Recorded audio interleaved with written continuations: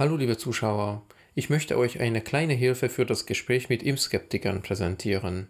Ich habe euch bereits im letzten Video einige wichtige Informationen bezüglich des Coronavirus gegeben, damit ihr für solche Gespräche gut gerüstet seid. Wir haben etabliert, dass das Coronavirus existiert und es gefährlich ist.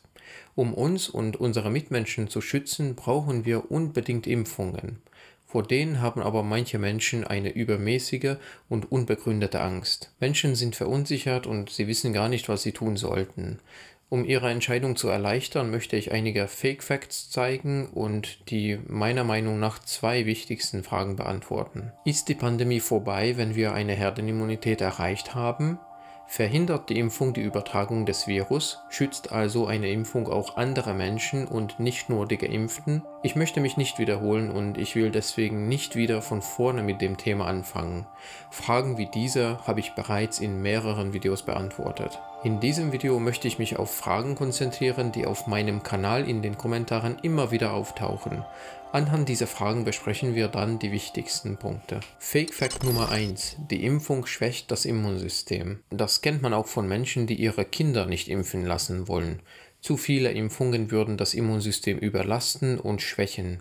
Das ist natürlich nicht wahr. Wir sind ununterbrochen in Kontakt mit unterschiedlichen pathogenen Mikroorganismen. Unser Immunsystem erkennt Millionen von Antigenen und kann mehrere tausend Erreger gleichzeitig bekämpfen. Allein auf euren Handys befinden sich mehr unterschiedliche Bakterien, als ihr je Impfungen bekommen habt. Wenn ihr im Gesundheitswesen arbeitet, könnt ihr locker mit der zehnfachen Menge rechnen.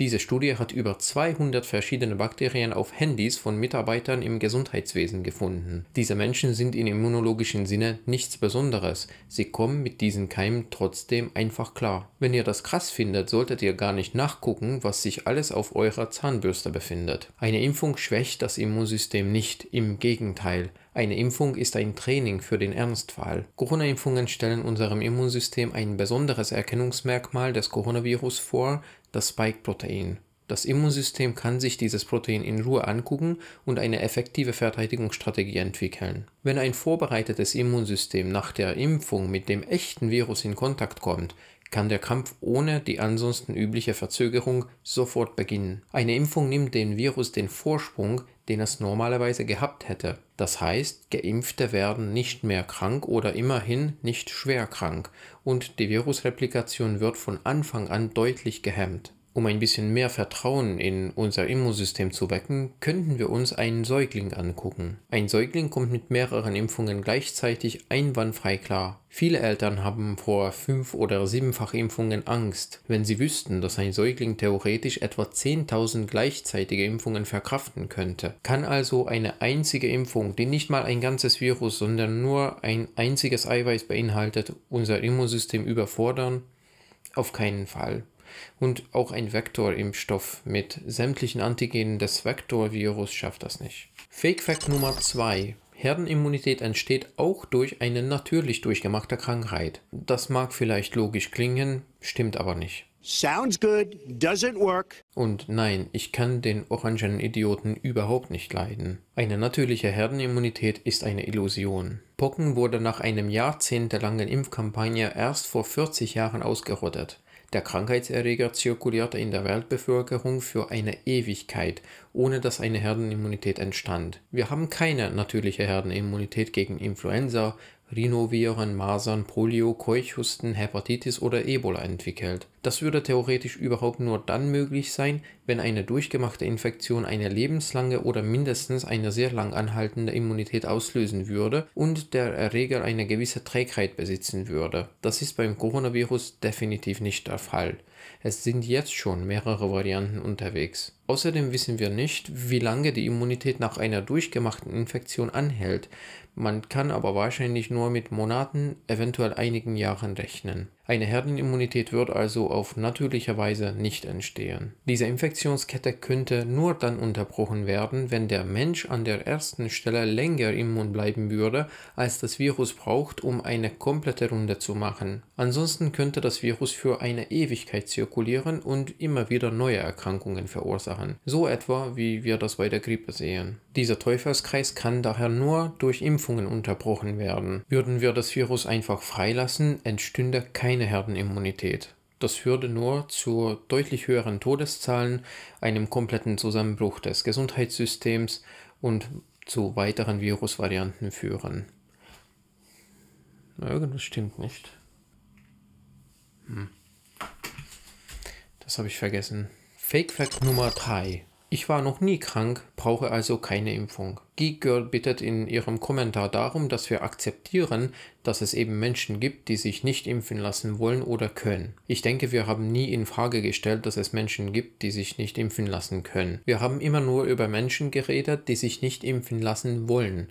Es ist meiner Meinung nach kristallklar, dass Impfungen nur von Menschen abgelehnt werden, die Impfungen einfach pragmatisch aus Prinzip ablehnen, und sie sind meistens komplett immun gegen Fakten, verunsichert sind und Angst vor Nebenwirkungen haben oder überzeugt sind, dass es vernünftige und effektive Alternativen gibt. Stichwort Immunstärkung. Sie haben eins gemeinsam, sie sind alle schlecht informiert und verstehen nicht, worum es geht. Ich bin überzeugt, dass ein Großteil der Impfskeptiker nur eine vernünftige Aufklärung braucht, um zu verstehen, warum Impfungen so wichtig sind. Manche denken, dass sie gesund wären und keine Impfung bräuchten. Aber wir werden das Coronavirus nicht so einfach loswerden. Wenn wir das schaffen wollen, müssen wir alle zusammenhalten. Jung und alt, krank und vermeintlich gesund auch. Auch jetzt sterben junge und gesunde Menschen. Du bist nicht unverletzlich, auch wenn du das denkst.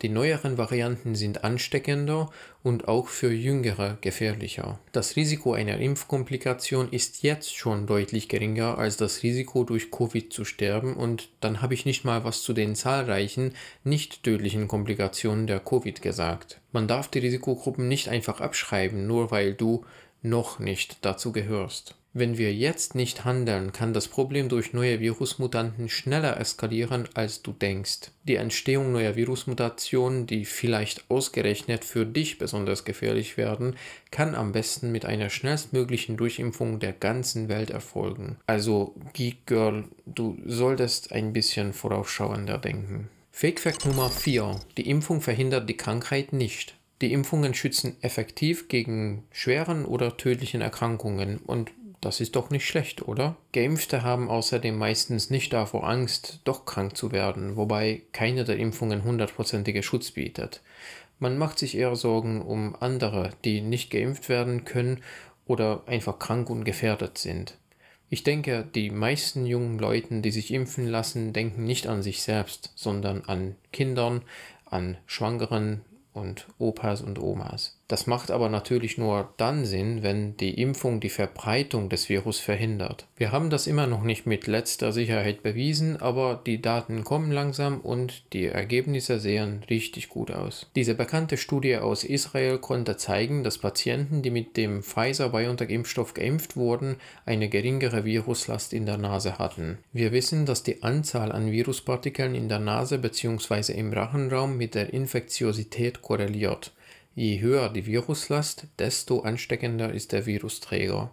Die Israel-Studie wurde bisher nicht als Beweis zitiert, da sie bis vor ein paar Tagen nicht peer-reviewed wurde. Das ist unerlässlich, um methodische oder Studiendesign-Fehler zu entdecken. Das Peer Review ist aber endlich durch und die Daten wurden am 29.03.2021 im Nature veröffentlicht. Die Studie bestätigte das, was der gesunde Medizinerverstand schon lange vermutete. Die Impfungen senken die Anzahl an Viruspartikeln in der Nase und vermindern damit die Infektiosität.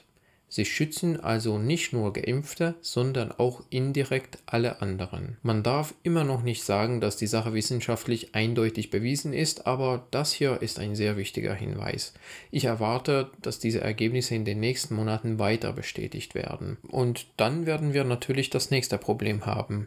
Wie geht es für Geimpfte weiter? Geimpfte sollten so lange keine Privilegien bekommen, bis alle die Chance hatten, sich impfen zu lassen. Aber wenn man nun geimpft ist und wir wissen, dass Geimpfte nicht mehr ansteckend sind, wie könnte man noch eine Quarantäne oder eine Testpflicht begründen? Werden wohl die Gruppierungen, die bisher auf Solidarität gepfiffen haben, aus Solidarität erwarten, dass ein Geimpfter doch in Quarantäne geht oder für sinnlose Selbsttests Geld ausgibt? Well, well, well. How the turntables.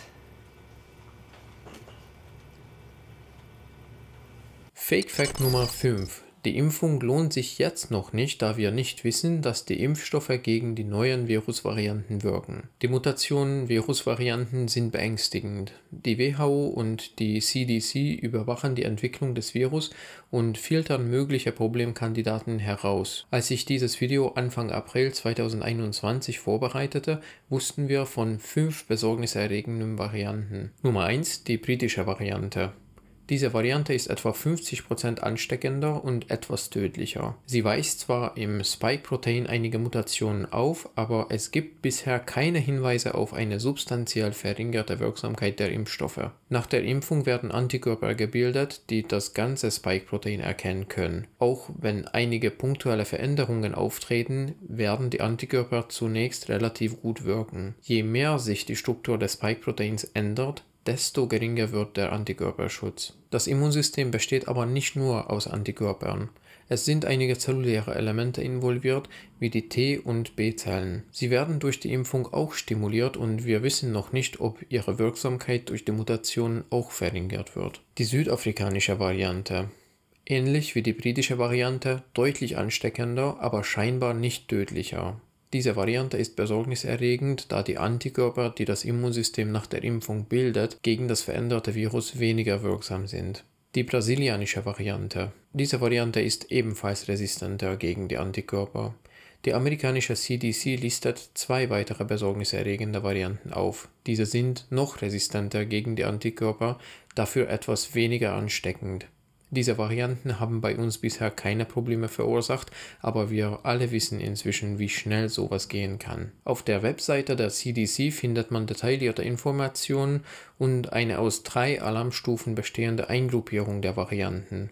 Gute Nachricht, es wurde bisher keine Variante in die höchste Alarmstufe eingestuft. Diese Varianten entstehen vor allem dadurch, dass das Virus sich ungehemmt ausbreiten kann. Wenn wir das verhindern wollen, müssen wir weltweit und so schnell wie möglich impfen. Damit verhindert man nicht nur Todesfälle, sondern auch die Entstehung neuerer Varianten. Die Impfung macht also jetzt schon Sinn, sehr sogar.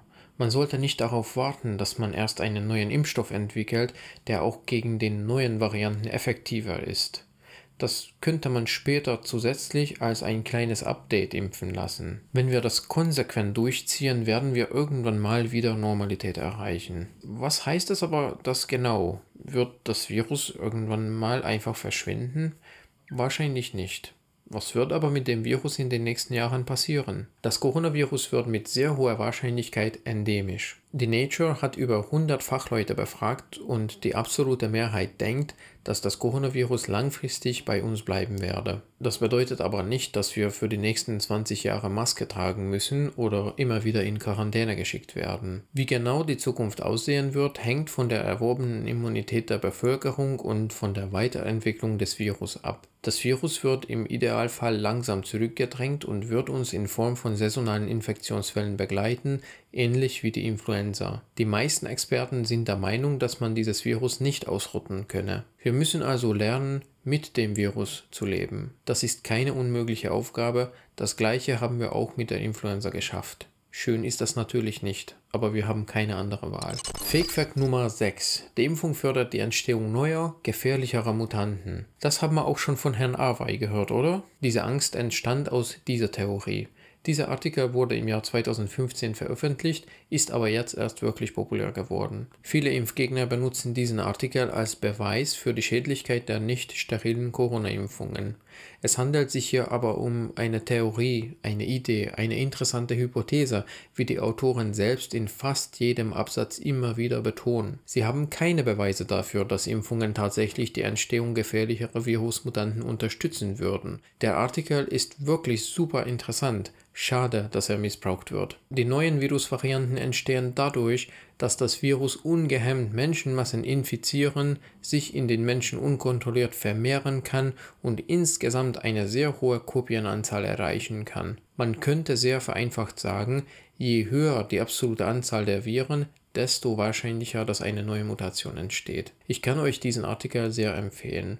Hier wird sehr gut dargestellt, warum die Impfungsresistenz im Vergleich zu Antibiotikumresistenz kein großes Problem ist. Eine Resistenzentwicklung gegen Impfungen ist deutlich seltener als eine Antibiotikumresistenz. Das hat zwei wichtige Gründe. Grund Nummer 1, das Timing. Impfungen werden prophylaktisch gegeben, Antibiotika therapeutisch. Das bedeutet, dass Impfungen die Vermehrung der Pathogene bereits von Anfang an behindern können. Es kann dadurch keine hohe Kopienanzahl erreicht werden. Je kleiner die Gesamterregeranzahl ist, desto unwahrscheinlicher, dass neue Mutationen entstehen. Grund Nummer 2. Antibiotika wirken auf ein spezifisches Target. Impfungen haben aber eine komplexe Wirkungsweise. Es ist viel schwieriger, gegen einen komplexen Schutzmechanismus eine Mutation zu entwickeln. Wie ihr bemerkt habt, ich rede die ganze Zeit über eine Resistenzentwicklung gegen die Impfungen. Genau das ist nämlich das, was passieren könnte. Eine Impfung kann nicht die Entstehung irgendwelcher Superviren provozieren. Wenn sich das Virus gegen die Impfung wehren will, dann muss die neue Mutation gegen die Impfung schützen. Eine andere Art Selektionsdruck entsteht durch die Impfungen nicht. Es kann natürlich eine zufällige gefährliche Mutation entstehen, aber das ist wahrscheinlicher, wenn das Virus in einer sehr viel höheren Kopienanzahl existiert. Da die Impfungen die Gesamtzahl an Viren reduzieren, reduzieren sie auch die Wahrscheinlichkeit neuer Mutationen. Wie lange könnte es dauern, bis das Coronavirus gegen die Impfung eine Resistenz entwickelt? Bisher war diese Zeit ziemlich lang. Die roten Linien zeigen hier die Zeit zwischen der Erstapplikation eines Medikamentes und dem ersten dokumentierten Fall einer Resistenz. Wie ihr seht, Bakterien entwickeln eine Resistenz gegen Antibiotika innerhalb von wenigen Jahren.